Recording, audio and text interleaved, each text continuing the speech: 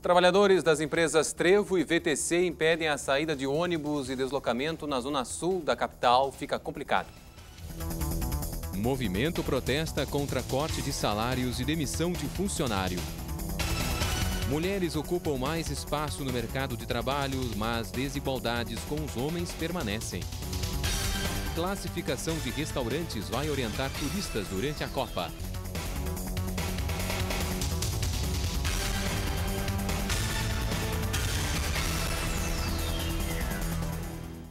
Tarde. Os ônibus das empresas Trevo e VTC do consórcio STS, na zona sul da capital, não circularam nesta manhã. Segundo a EPTC, 25 mil usuários foram prejudicados.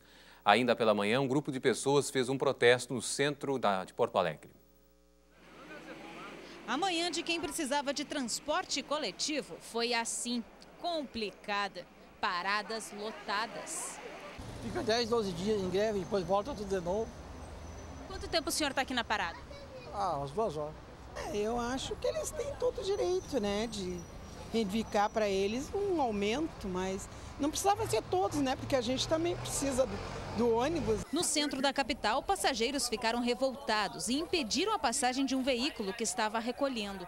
Uma fila de ônibus se formou, interrompendo todo o trânsito. Os usuários só queriam ter o direito de ir e vir.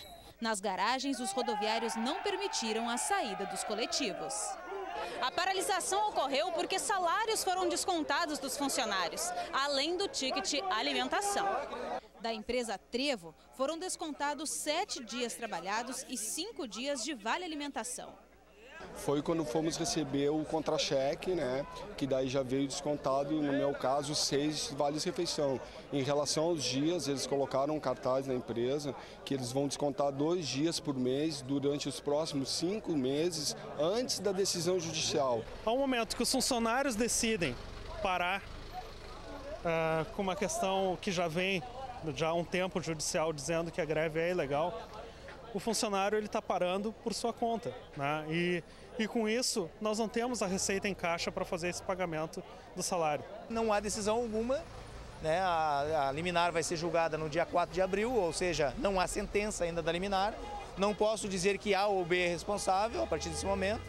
Né? E mesmo que tivesse, que eles considerassem o acordo na mesa, esses descontos apontavam primeiramente para um desconto de horas do banco de hora enquanto vigente. Da empresa Trevo, cerca de 500 funcionários pararam. Da VTC, 250. Para suprir a demanda, a EPTC remanejou linhas e lotações circularam com passageiros em pé. Não está descartada uma nova greve geral pela categoria. Eu acho que está totalmente errado. Por quê? Porque eu acho que não tá, deixa todo mundo empenhado aí, parado nas paradas aí, esperando. Tem cabimentos aí.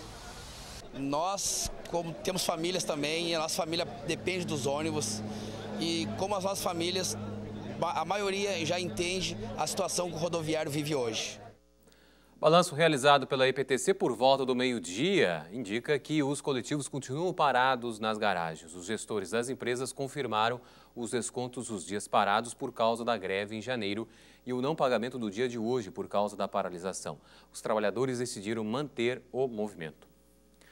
Na próxima segunda, dia 10 de março, será realizada a audiência pública que vai debater a licitação do transporte público em Porto Alegre. O debate terá assuntos polêmicos como a utilização de 20% do valor das multas de trânsito em ações voltadas à construção de ciclovias e implantação de ar-condicionado nos ônibus. A audiência está marcada para o ginásio Tesourinha às 7 da noite.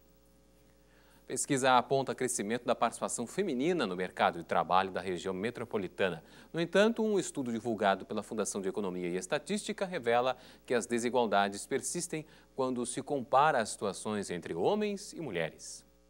Essas trabalhadoras passam um dia diferente. Em meio a palestras informativas, uma pausa para a expressão lúdica. Vera tem 57 anos, começou a trabalhar aos 15, de carteira assinada tem apenas 12 anos. Tinha 15 anos quando eu comecei a trabalhar, eu ajudava minha, minha tia, né, que mãe eu não tenho, né, que mãe não tive, fui criada com a tia, aí ela faleceu e eu vou fui trabalhar, né? Por causa que não tinha ninguém para me sustentar. Para sair da condição de dependência do marido, Neiva foi trabalhar. É difícil a gente depender das pessoas também, entendeu? e o teu filho te pediu uma coisa e tu não tem, entendeu? Tem uma vida mais independente? Sim, agora sim. O grupo faz parte do contingente feminino assalariado com carteira de trabalho assinada pelo empregador. No ano passado, mais 18 mil trabalhadoras na região metropolitana de Porto Alegre ingressaram na formalidade do setor privado. O dado é de uma pesquisa que avalia a inserção da mulher no mercado de trabalho. Foi um ponto favorável uh, para o mercado de trabalho das mulheres juntamente com outro ponto favorável, que foi o aumento do rendimento uh, médio real foi superior para as mulheres em relação aos homens, o que fez então com que uh, diminuíssem as já históricas desigualdades que existem uh, entre os rendimentos e, e, as formas de inserção de mulheres e homens no mercado de trabalho.